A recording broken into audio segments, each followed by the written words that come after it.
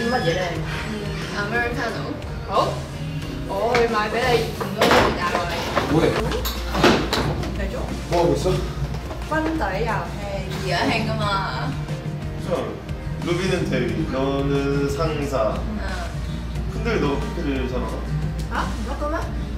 내가 오늘 그 군대 계급에 대해서 설명해 주도록 하겠습니다.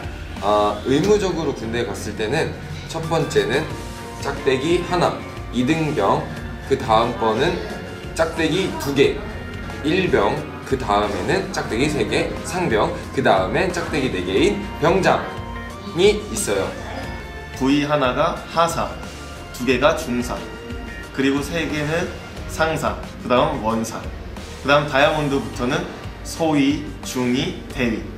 그래서 송중기가 대빵인 거야. 그리고 그 다음은 어, 소령, 중령, 대령이 있는데 계급 중에서 가장 높은 건 장이야. 그래서 별이 4개인 이 대장이 군대에서 가장 높은 거야.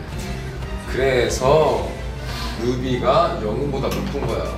너가 루비를 시키면 안 되지. 미엔 상사, 빨리 커피를 대령하라. 예 알겠습니다.